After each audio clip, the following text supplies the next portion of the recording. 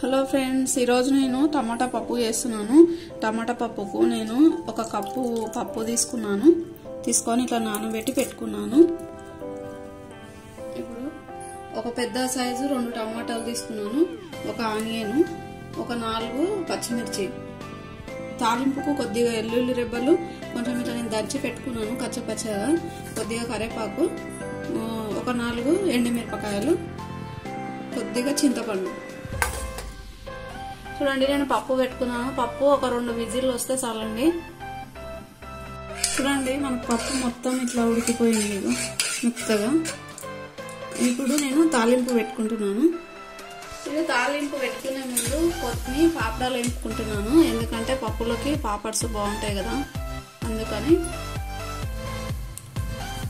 చూడండి ఆయిల్ వేడైంది నేను పాపడ్స్ అన్ని వేపుకుంటున్నాను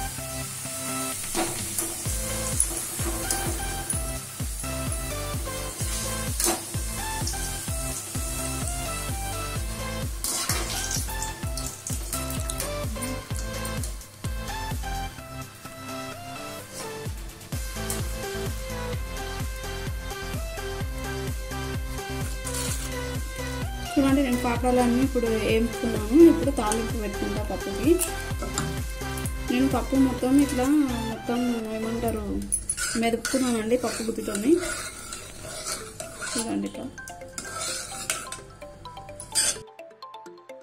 చూడండి నేను ఆయిల్లో ఎల్లిపాయలు వేసుకుంటున్నాను.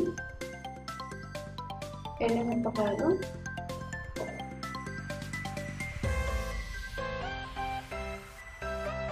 నేను ఎండుమిరపకాయలు వేసుకుంటే కరపాకు వేసాను ఒక స్పూన్ ఆవాలు పెట్టాను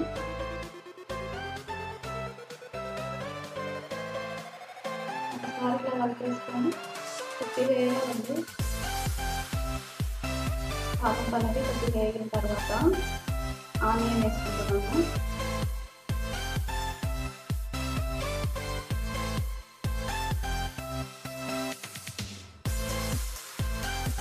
ఆనియన్ మొత్తం వేసుకున్న తర్వాత చూడండి బాగా మొత్తం వేగిన తర్వాత టమాటా వేసుకుంటున్నాము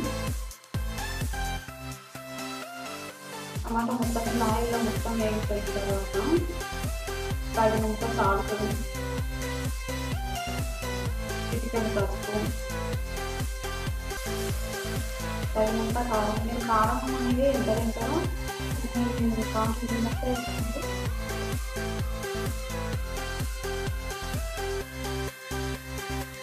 వేసుకున్న తర్వాత ఒకసారి కలిపి ఒక రెండు నిమిషాలు ఇట్లా ఉడకనివ్వాలండి.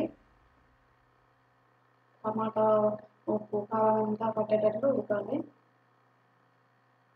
మూడు నిమిషాల తర్వాత పప్పు ఇందాక మెరుపుకున్నాం కదా పప్పు.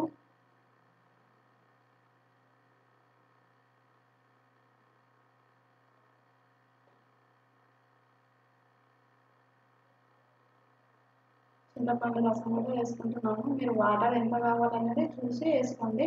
అంటే పప్పు పల్చగా కావాలన్నా కొద్దిగా చిక్కగానే ఉండాలా అనేది చూసి వాటర్ వేసుకోండి.